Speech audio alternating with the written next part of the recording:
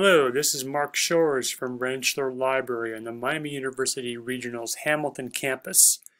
This short video will show you how to use the Books and More tool and limit your search to electronic books. I'm starting out on the Rentschler Library webpage. Books and More search box is the one that you want to use. And a search tip here is to not put in a long phrase or sentence as your search terms. Keep it short and simple. For my demo, put in the term or the phrase homeschooling.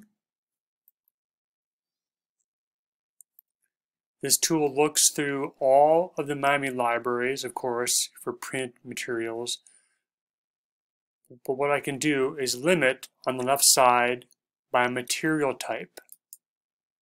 This menu drops down and I have the option here to limit to electronic resources. This will give you access to anything we have in ebook format.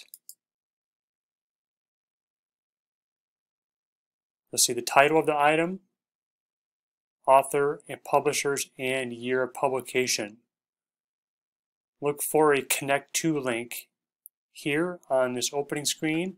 You'll also find it if you open up each item like this, and towards the bottom of the screen, you'll have a Connect To link that you can click on. Also built in here is a Cite tool. Over on the far right side, click Cite, and then select your style. MLA is towards the bottom of the page right there. APA style is towards the top.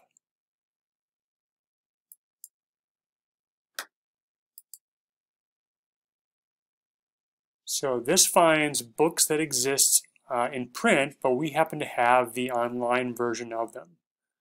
What it also finds, though, are things like electronic theses or dissertations,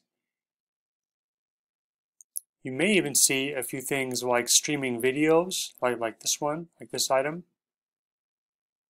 You may also see online government documents. These could be things like reports by government agencies or the full text of uh, congressional testimony.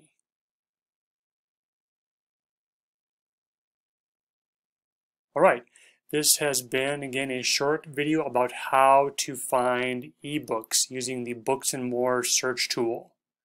Good luck with your searching.